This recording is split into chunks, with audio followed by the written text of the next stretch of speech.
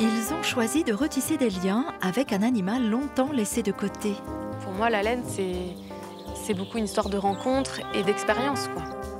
Cet animal, c'est le mouton qui pendant des siècles a fait partie intégrante de la culture bretonne.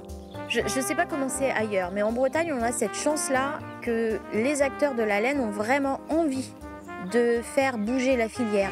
Alors des Bretons se sont lancés dans une aventure humaine pour redonner toute leur place aux moutons de nos landes.